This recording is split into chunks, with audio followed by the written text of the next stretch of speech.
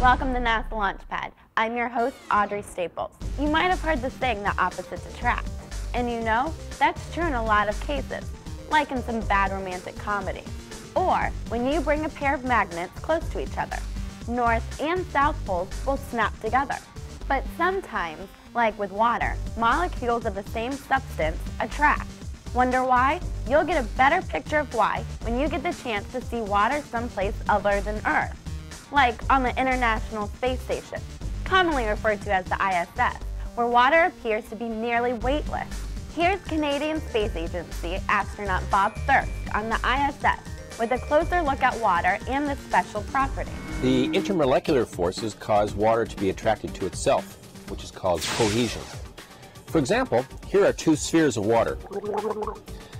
When the spheres are several centimeters apart, there's no attractive forces between them. But when I bring them close enough together to, attra to attract, they merge through their attractive forces.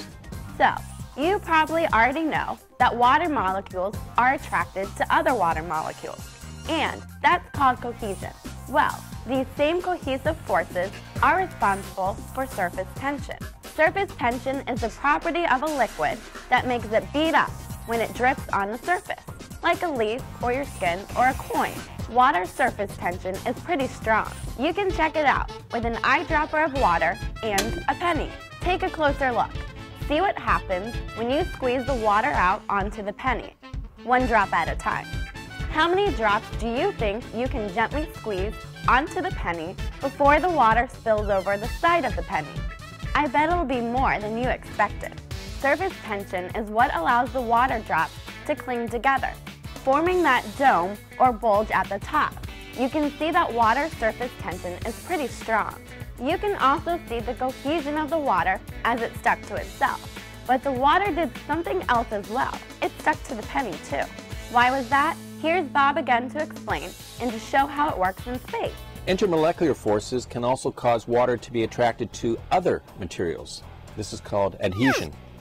For example, water can stick to a straw.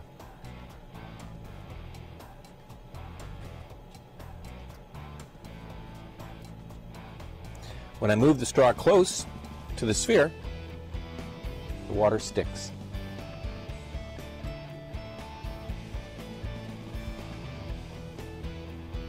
Water sticks to many other materials as well. Think about all the things on Earth that you see little water drops on. Windows, tree leaves, even your own skin. Let me show you with my hand. The molecules in my skin will pull hard enough to make the water stick.